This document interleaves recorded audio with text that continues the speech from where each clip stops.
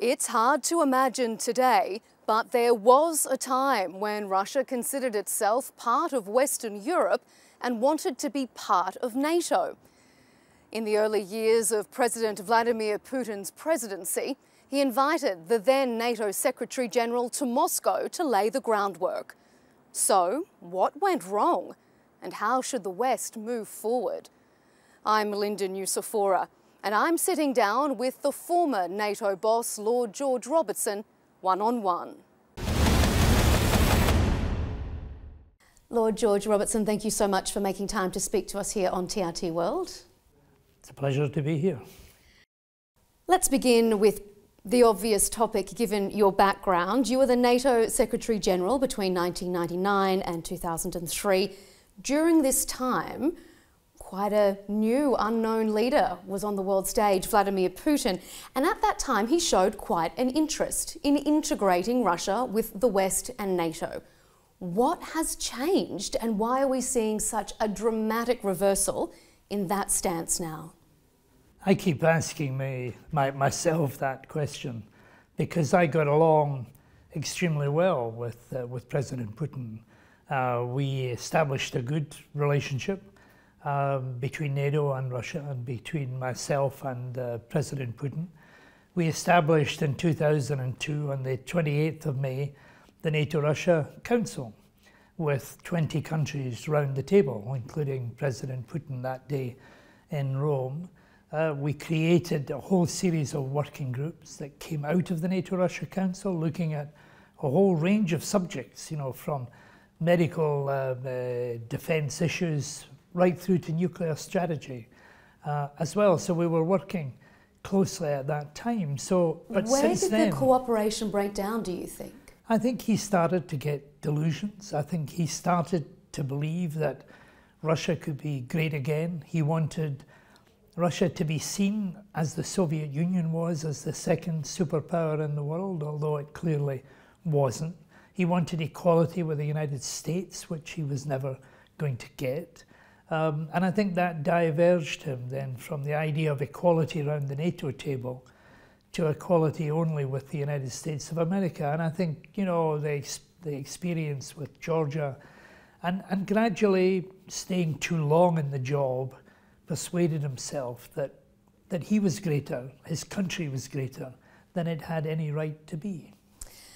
How disappointing is it when you see the current state of NATO's relationship with Russia, given where it could have been when you were visualising that partnership back in the early 2000s? Well, I'm not just disappointed, I'm, I'm really very cut up about it because the person that I did business with, seemed to get on well with, and who seemed to have a, common understanding of the problems in the world and how we could together deal with them, has now turned into this megalomaniac who is deliberately trying to destroy uh, an, an, in, an, independent nation state. I, I, stood with him that day in Rome, uh, about as far apart as we are today and heard him saying Ukraine is a sovereign, independent nation state which will make its own decisions about its security future.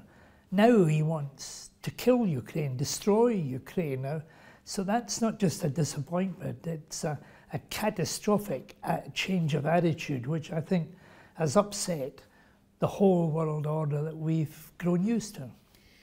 You've had, during your time as the NATO boss, nine high level meetings, and as you say, sometimes very close one on one with Vladimir Putin. You perhaps know his sense of strategy maybe better than most. How do you think the West can engage or re engage with him to get Russia back at the negotiating table as Turkey has been trying to do, especially with regards to Ukraine? Well, I knew him then, and he was a very different person then. And he's been isolated now from any normality, from any normal uh, human beings. There's no real interaction getting close to him at all. And the pandemic, uh, the virus, has had a very serious effect on him, almost hiding away and sort of stewing up in his own mind some delusion about Russia's nature uh, of, of its place in the, uh, in the world. But the question, good question is what do we do now? Mm. Well, first of all, we have to defeat him. You know, he's invaded, you know, an, uh, an unaggressive, unprovoked, he's attacked Ukraine and wants to basically eliminate it as a nation state. So we have got to beat them. That's the very first thing we have to do. Then maybe we can reach out to uh, the people of Russia, who don't seem to be involved in this at all at the moment, to say Russia still has a place in the world, but not if it is going to act like this to close neighbours and to other independent countries. Turkey's stance is that the way to peace is through dialogue and through diplomacy. Do you believe that this war can be ended through diplomacy and dialogue? It can't be ended by diplomacy in the short term. As one of my successors said, if Russia stops fighting, there will be peace. If Ukraine stops fighting, there will be no Ukraine. That's the reality of the situation now. But yes, there will be a place for diplomacy in the future.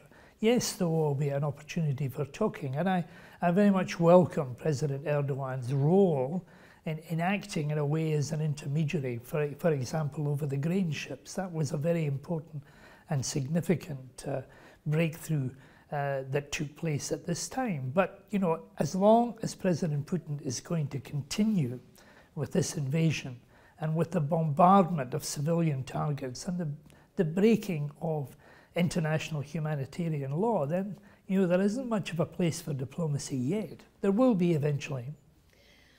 Moving slightly away from Russia but staying with NATO, how would you assess NATO's cooperation at the moment. There are obviously tensions between some NATO allies. How do you broadly see the alliance at the moment? We've, all, we've always had tensions between NATO allies. You know, we, we're talking here of 30 independent democracies with a common aim of common defence, but they're all separate. That, that's 30 electorates. It's so you don't see tensions between NATO allies as being detrimental to the alliance itself. No, it's part of the normality. You know, we're not the Warsaw Pact. In the Warsaw Pact days, Russia said, and everybody else jumped.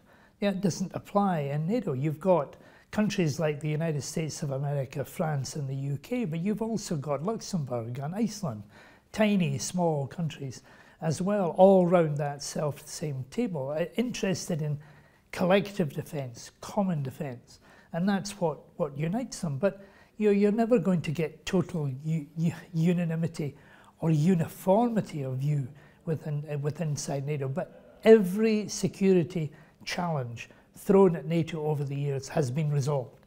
One way or another, we have, we have resolved that. And I think that's what's going to happen in the future. And I hope the present you know, difference of opinion that exists between President Erdogan and the government of, of Sweden will be resolved because, it, because it's absolutely essential that Sweden and Finland become full members of NATO, an absolute imperative for the alliance and for the security of its members. Why? Why do you think NATO enlargement is so important?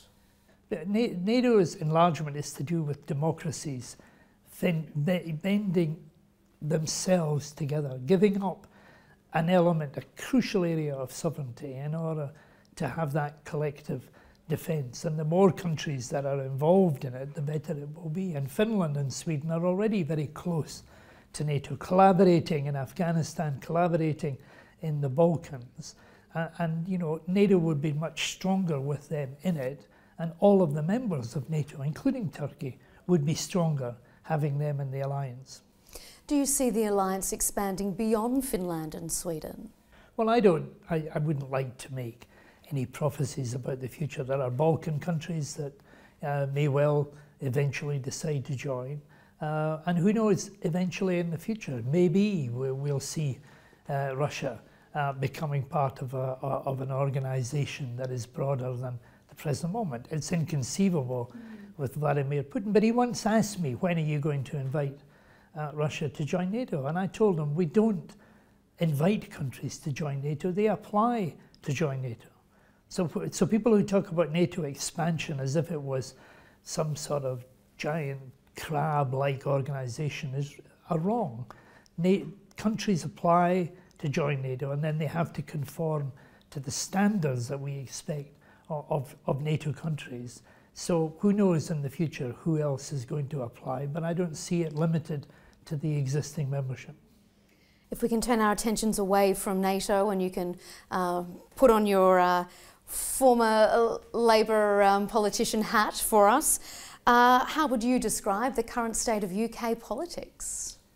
It's chaotic.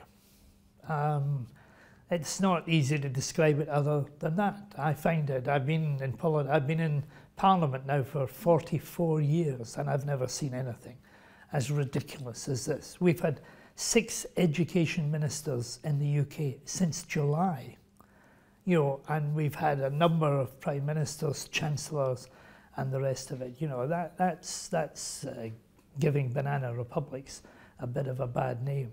Hopefully, there's a degree of stability now and we'll have an election in two years' time when, when I'm pretty confident, as a partisan politician, but as somebody who has been involved, that we'll see a, a change of government at that time. And I think then Britain will be able to hold its head higher than just now. Elections aside, as you say, it's two years away, that's quite a while. Um, do you think current Prime Minister Rishi Sunak can unite the country around a common goal for the next two years? It doesn't look as though the new Prime Minister is going to be able to unite his party, never mind the nation. Um, you know, but let, us let's, let's give him a chance. You know, I'm a patriotic uh, Briton. Um, you know, but I, but I want to see a change of government. I don't believe that the Conservatives at the moment can offer the, the, the unity and sense of purpose that my country should be applying, especially in the world today. Um, so we'll see how he gets on. He's got a budget next week.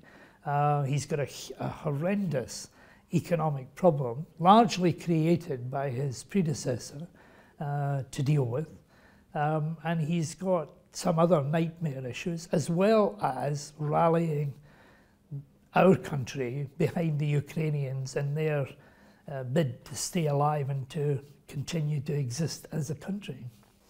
Just one final question. Uh, you're a former defence minister yourself. How do you see, uh, it, obviously Ukraine aside, but the, the current state of security globally?